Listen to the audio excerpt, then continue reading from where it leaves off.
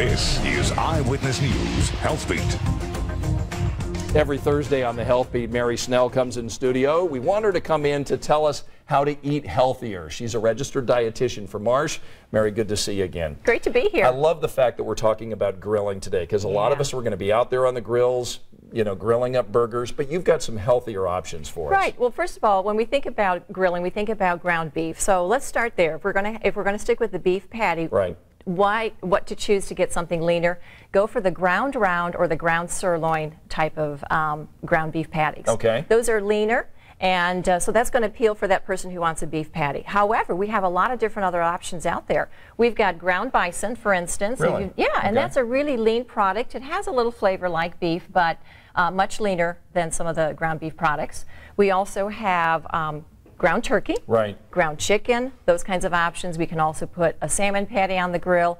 And for our non-meat lovers, we have a lot of different vegetarian type of vegan patties as well. Okay. So a lot of options. What I loved about this particular one over here, I'm a big guacamole fan. So you've added this. Why is that a healthier Uh-huh. You know, option the, the reason is because when we go to a leaner um, type of meat, sometimes, again, we get rid of the fat. Sometimes the flavor also um, leaves us. And Mm-hmm. so we're looking for something with a little more flavor. So ground turkey very, being very lean, I like to put some guacamole on top to bring back some, some uh, flavor, Oh, that. some bold flavor.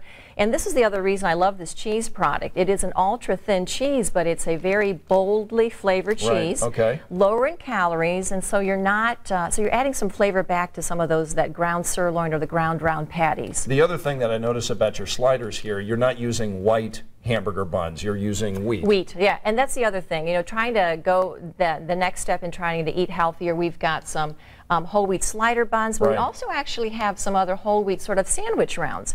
So if you're trying to cut some calories uh, in terms of the hamburger itself, let's cut down on the pa- on the, the bread part, the product. Okay, and Yeah. I, I, one other thing you, you brought in, you brought in hummus. Hummus, and I'm not a fan of hummus, but you you must be, right? Yeah, and that's actually another type of topping or sauce to put on any one of these type of products. And what I'm looking for is bringing back some bold flavor um, to these grilled items because, like I said, the leaner product tends to have less flavor.